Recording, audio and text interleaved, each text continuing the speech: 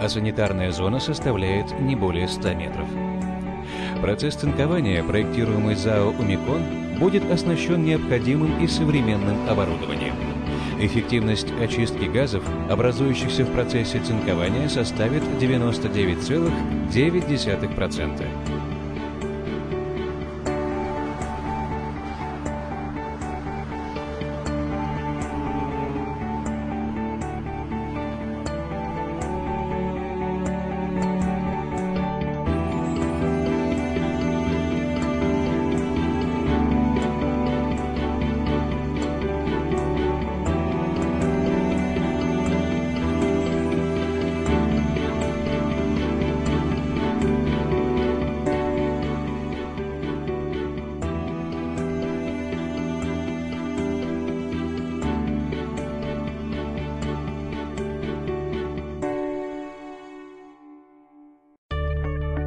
Технологический процесс начинается с поступления в зоны навески оборудования металлоконструкций с помощью двух однобалочных мостовых кранов.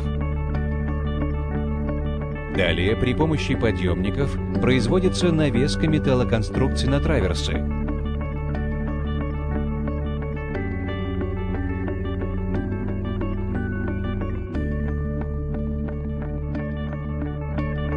Затем при помощи тележки загруженная траверса передается на оборудование блока зоны предварительной подготовки поверхности. При поступлении траверсы с навешенными деталями в зону предварительной подготовки включается программа предварительной обработки цинкуемых изделий.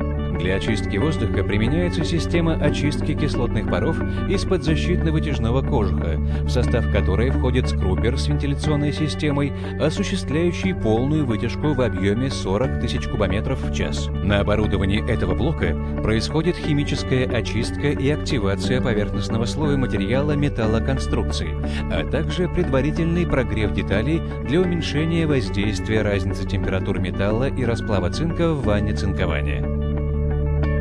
В состав этого блока входит 13 ванн предварительной подготовки. Ванны состоят из химостойких полиэтиленовых вкладышей, поддерживаемых стальными конструкциями. В ваннах обезжиривания снимаются масляные и другие загрязнения с поверхности металла, чтобы ускорить последующий процесс травления. Процесс обезжиривания выполняется путем погружения металлоконструкции в подогреваемый раствор на кислотной основе. В процессе травления снимаются все окислы с поверхности металла.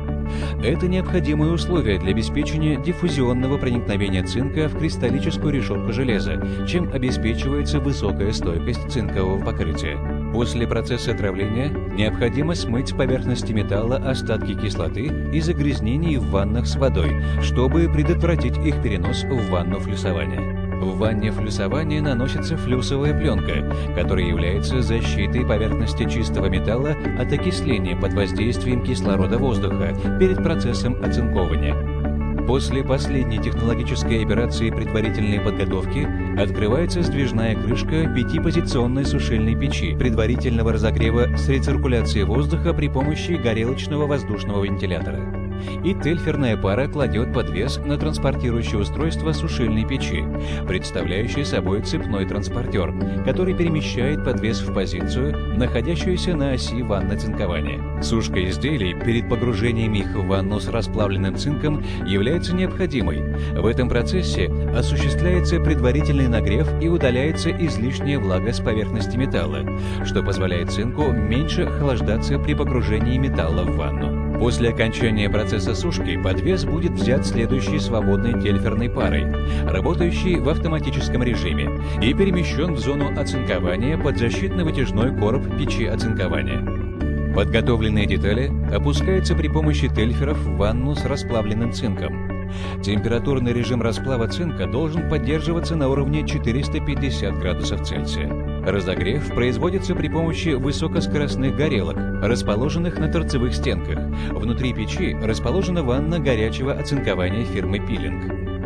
Ванна закрыта со всех сторон защитно-вытяжным коробом, который предназначен для защиты персонала, а также улавливания белых дымов, образующихся в процессе горячего оцинкования. Отходящие газы от печи оцинкования имеют высокую температуру и направляются в систему использования тепла от отходящих газов печи оцинкования с теплообменником газ-вода.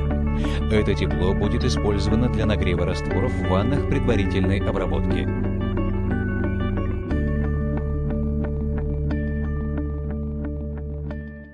После окончания процесса оцинкования траверса автоматически перемещается на один из свободных транспортеров в зону снятия готовой продукции. Управление работой всего оборудования, входящего в состав производства горячего оцинкования, обеспечивается программой в системе управления.